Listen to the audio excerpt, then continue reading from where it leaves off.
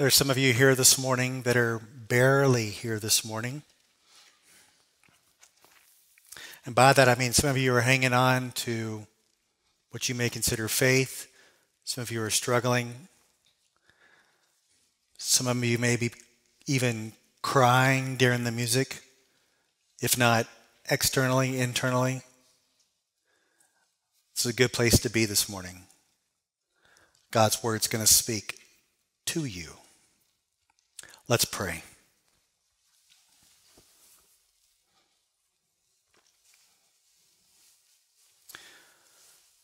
Lord, you care for us even when we suffer, especially when we suffer. You care for us when we struggle in sin, especially when we struggle in sin. You came to save sinners. And I just ask that you would speak right now. Many of us came here this morning not even knowing what in the world the sermon was going to be on, wondering what Romans 4 has to say to them. May they feel as if you're speaking just to them this morning, though you're speaking to all of us. May you have a target on their hearts, all of us, each of us, for your glory. In Jesus' name, amen. Do you have anything going on right now that is attempting to disrupt or shake your faith? Is there anything going on right now where you were going good with God, but then something happened and you feel a little bit rattled? What is throwing you off? These things usually fall into three different categories, very common to all of us. It's the idea of relationships can throw our faith off finances, or our health. Any relationships right now that are just kind of causing you to struggle in your faith? Maybe it's with your spouse. Maybe it's with one of your grown children. Maybe there's something going on with somebody else that is impacting your relationship with God, and you're wondering, what's going on?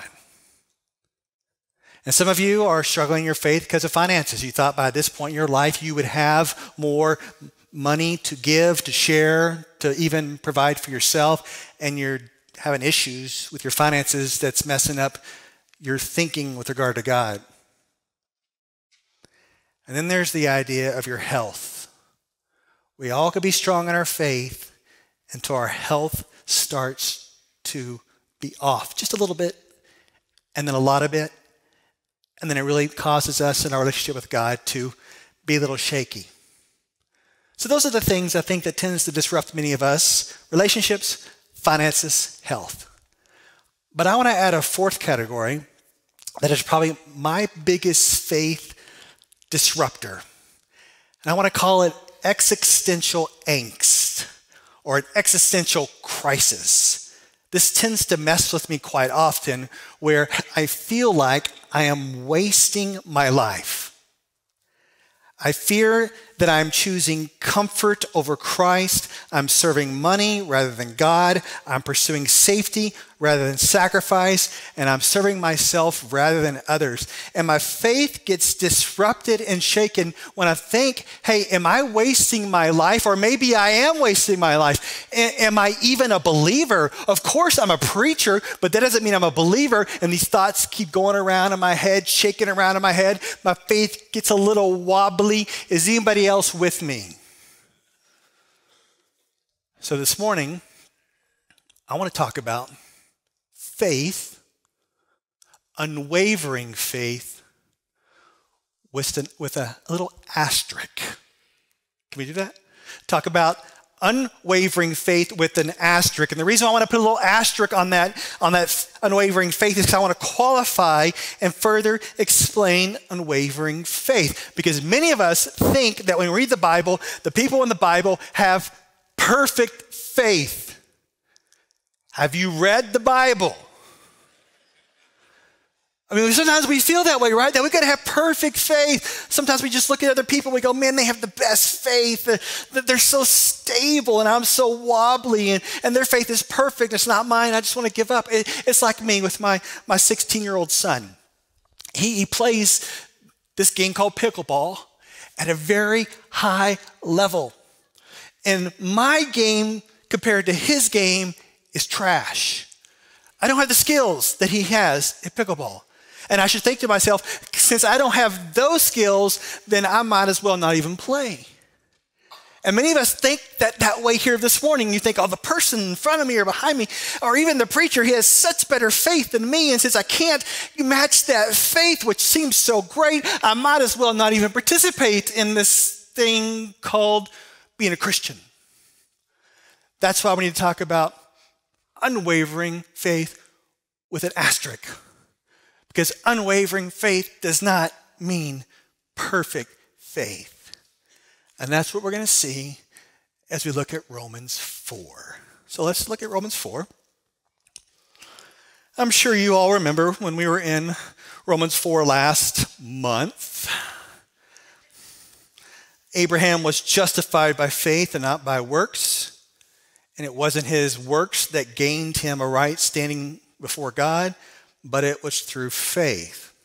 Now, what we're going to do today is we're going to reflect upon the faith of Abraham and we're going to be called to imitate his faith. We should trust God's promises with unwavering faith like Abraham. Now, I want to kind of summarize. Let me just do this. It's like a two part sermon. First part's really quick, and then second part a little bit longer. As you see in verses 9 through 17, which Jim just read, it's saying Abraham's true children are those who have faith in Christ. Abraham's true children are Jews who are circumcised who believe in Jesus and Gentiles who are uncircumcised who believe in Jesus. And so that's kind of a summary of 9 through 17 that Abraham believed was declared righteous and his circumcision was a sign and confirmation of the righteousness he had by faith. He was declared righteous through faith alone. This is the argument we started making last month, okay? This is kind of a summary here. We've, we've covered this ground before.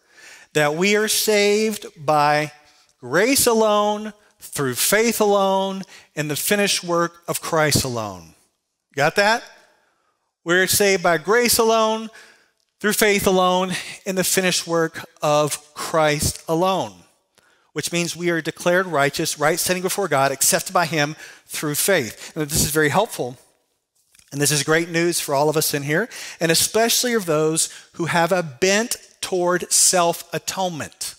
Now, there's anyone in here who regrets their past, some of the things they've done in the past, and they feel like they need to make up for all the stuff they've done wrong in the past, and they have a bent toward self atonement. And if you have a bent toward self atonement, that will wear you out. Always trying to keep going to please God, to please other. And I want to tell you this morning, you can relax you can rest because you do not have to do good works to get God's approval. You can do good works because you already have it.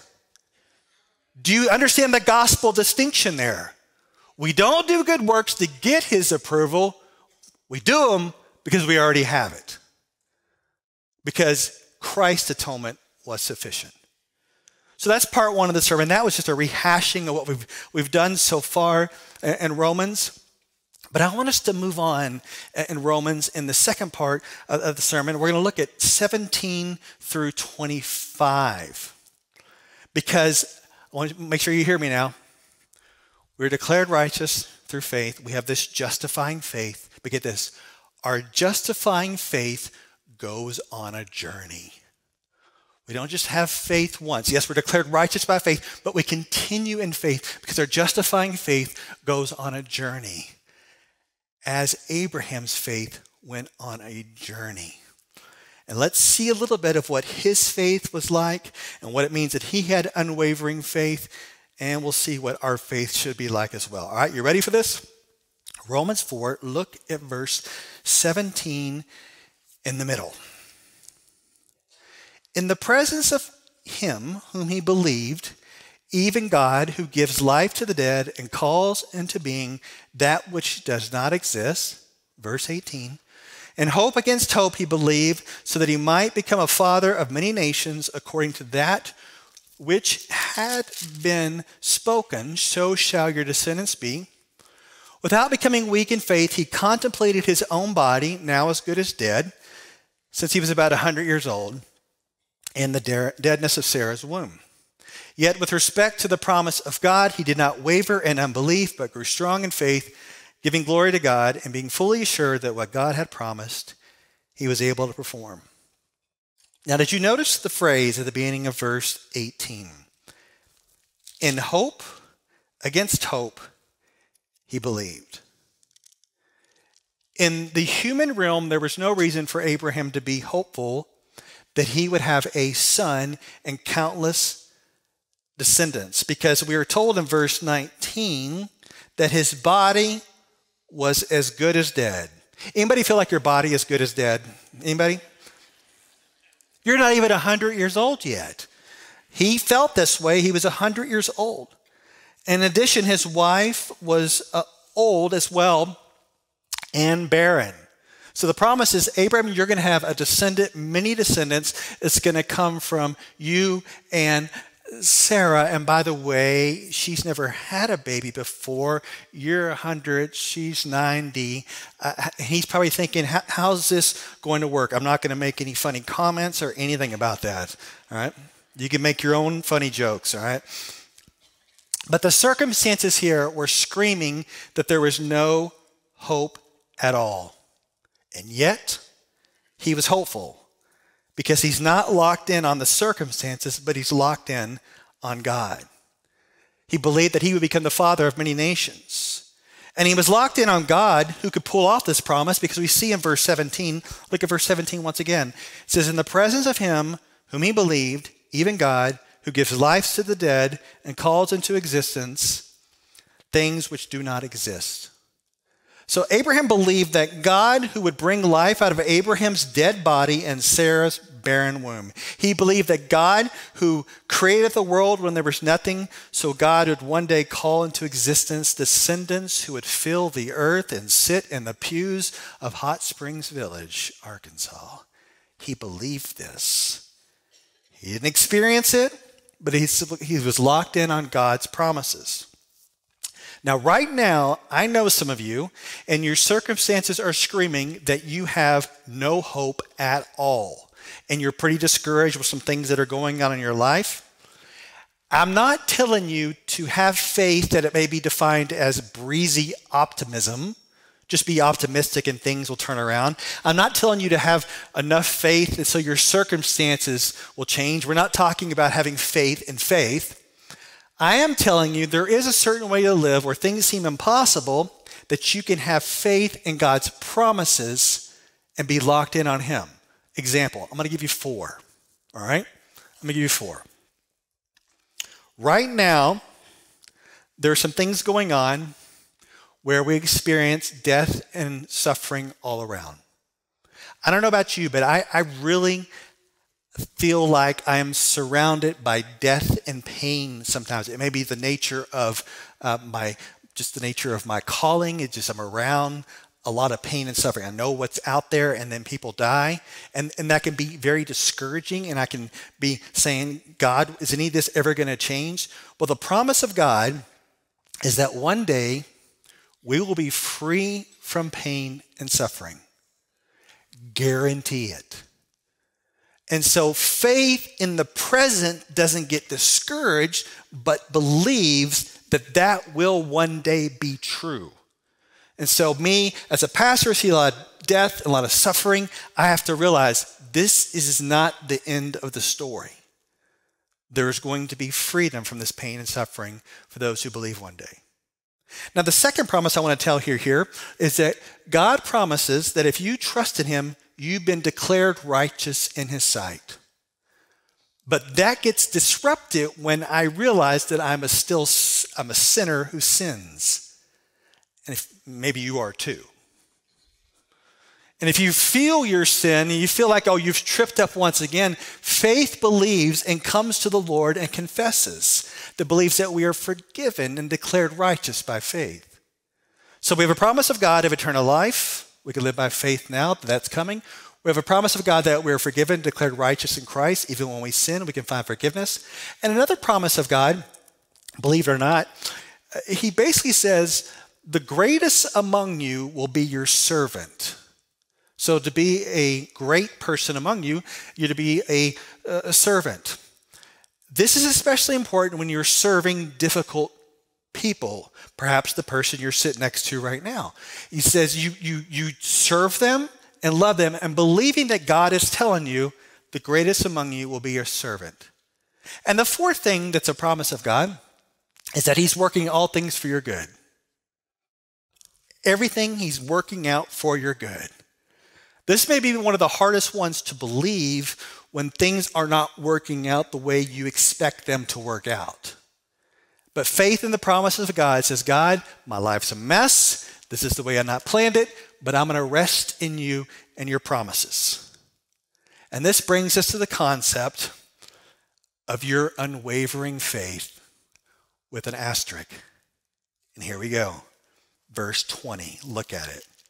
Look at Abraham. Verse 20 says, He, in the middle, he did not waver in unbelief, but grew strong in faith, giving glory to God. Abraham did not waver in unbelief.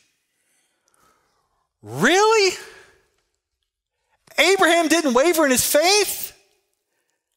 Have you read the story of Abraham and Sarah anticipating the promises of God to be fulfilled?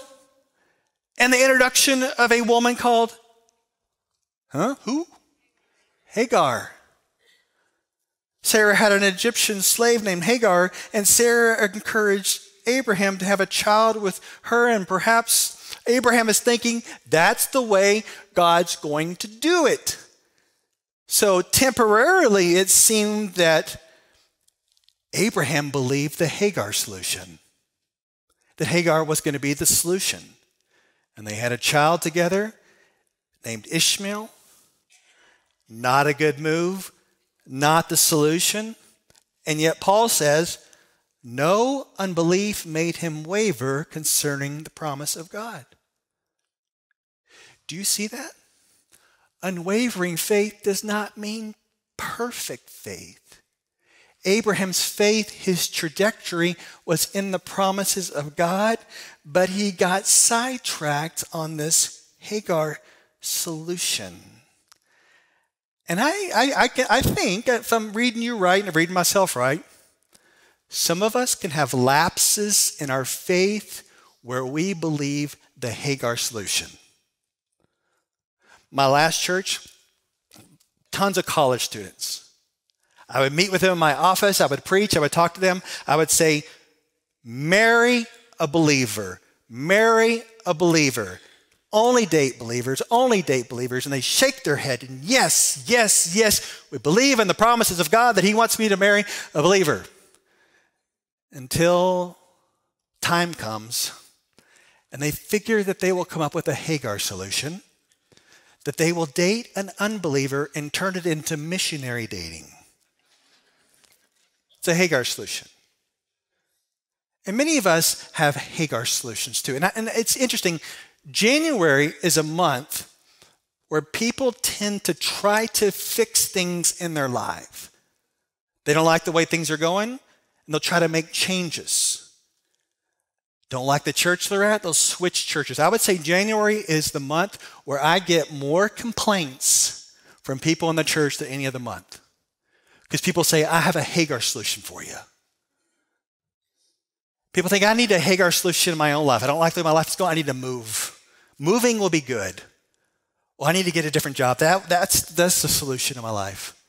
I need to go and do another vacation, another cruise. That's going to fix what's going on in me. It's a Hagar solution after Hagar solution after Hagar solution. And yet, we are called that even when we can't fix things in our lives, we're to trust God and be unwavering in our faith. So, what in the world did Abraham do? He went to the Hagar solution. That didn't work out so well. What did he do? How did he remain strong in his faith? Look at verse 20.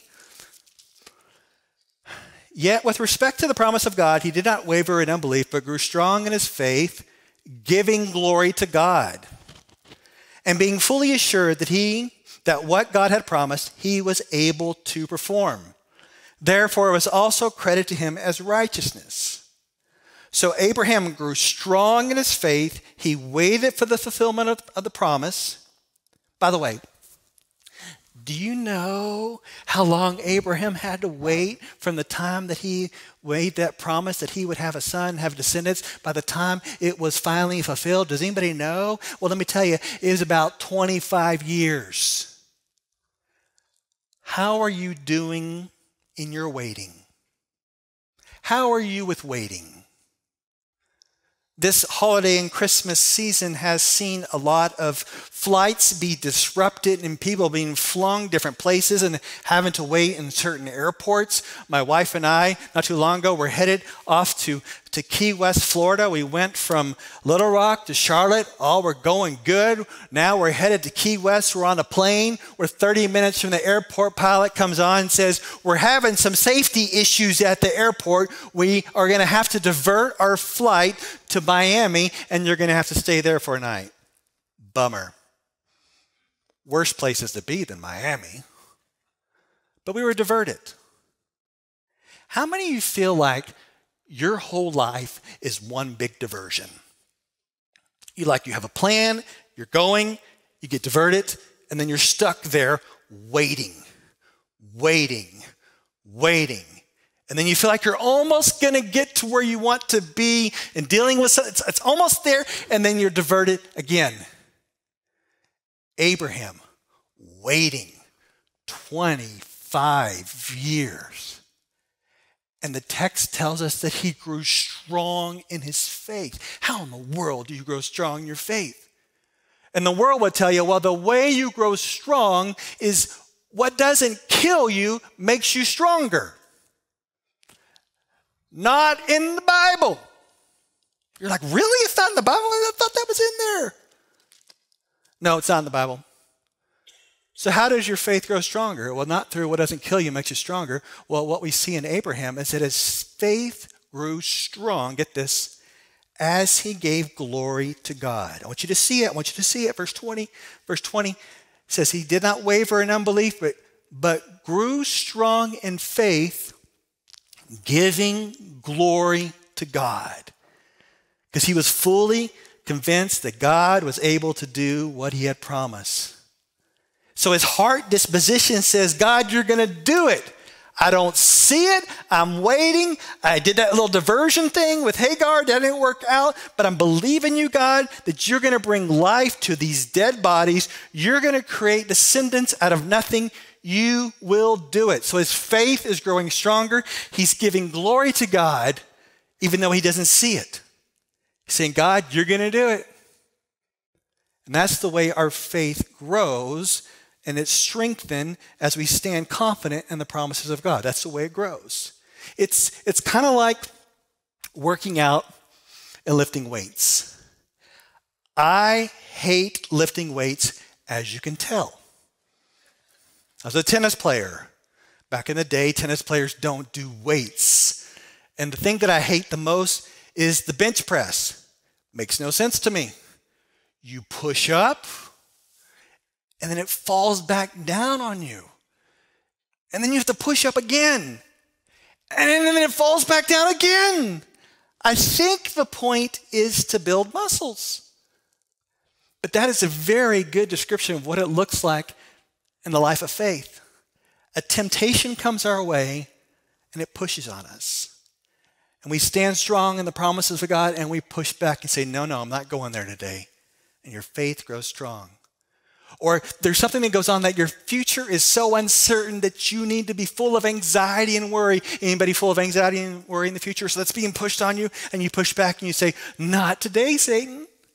I'm going to trust in God. I'm going to trust He's got me. I'm not going to be full of anxiety and worry. I'm going to trust. You see how that works? Let's go back and forth. And so your, your faith is strengthened as you give glory to God. Your faith is not strengthening when you go, well, I guess I'm not dead yet, so now I must be stronger. What doesn't kill me makes me strong. No, no, no. Your faith is strengthened as you say, God, I'm going to stand on your promises. I'm going to stand on your word. I'm going to stand on your truth. No matter what happens, I'm going to push back. And your faith grows strong.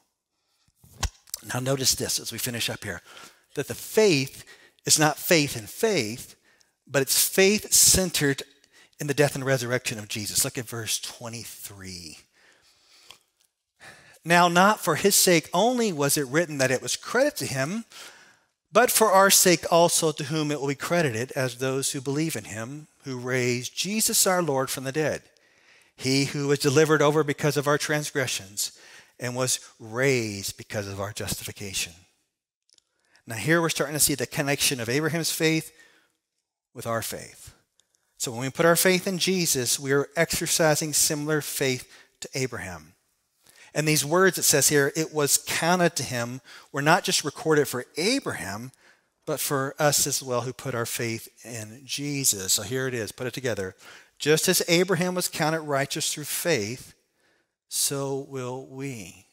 And as our faith goes on this justifying journey, plays out, we believe the God who could bring life from the dead.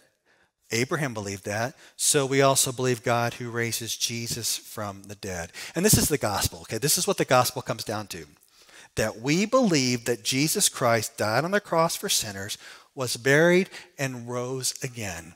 And we stake our faith and claim on that, that he gives life by faith to those who trust him. That on the cross, Jesus bore the penalty for your sin rather on us, and he was raised on the third day those who believe can be forgiven, declared righteous, and live forever. That's the good news. And so, if you find yourself many years after believing that good news wobbly in your faith, what are you supposed to do? You're supposed to come back to where you originally started and keep your eyes on Jesus. Yes, it's Jesus who is the one who was crucified for your sin. Wobbling your faith, come back for that. Jesus, who was the one who raised from the dead. You can rest in him and his promises. Right now, things may be hard, things may be painful. You can continue to strengthen your faith by coming back to Christ, God's sovereignty, God's plan, working for your good no matter what. And so, if you're here this morning with this unwavering faith with an asterisk, you are not alone because faith in the Lord is not a perfect faith. And so, what I want to do is, I'm going to leave you with something that I find very helpful when I'm struggling in my faith. It is a five word prayer. And before I show you the prayer, it's only five words. You can handle this. I want to tell you where this prayer comes from, okay? It goes like this There was this man who had a son, and his son was let's just go ahead and say it. His son was demon possessed. And at times, the demon would, would cause the boy to convulse and foam at the mouth and grind his teeth and become rigid. And this guy couldn't get Jesus' disciples to cast out the demon. And of course, Jesus rebukes his disciples for the lack of faith. So this, this man brings this son of his to Jesus. And Jesus is like, how long has he been like this? Well, the man says, Well, you know, when he was a little boy, the demon tried to throw him into the water to drown him, or the demon tried to throw him into the fire to burn him. And the man says, um, Jesus, you know, it'd be great to heal him if you can. Isn't that interesting? Jesus, it'd be really great if you could do this for this boy of mine, get rid of the demon if you can. And Jesus is like, if I can? If I can? Are you serious? If I can? And, and he says, all things are possible for him who believes. And then the man does this five word prayer I believe. Help my unbelief.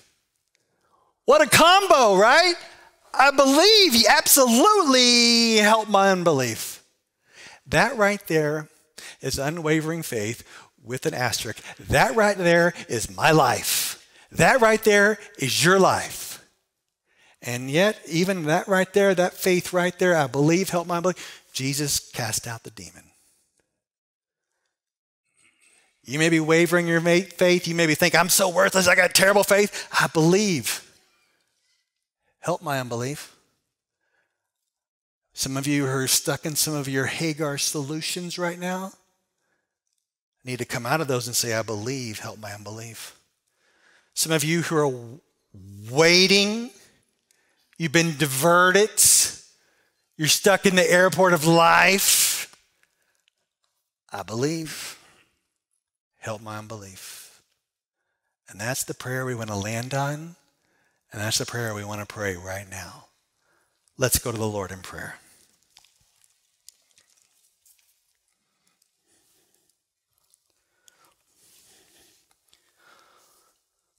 Lord, you have promised us eternal life, free from pain and suffering. But right now, we see a lot of suffering and pain, and some of us feel it right now. I believe. Help my unbelief. There's coming a day when you're going to turn it around. Lord, your promises declare that we're righteous through faith in Christ.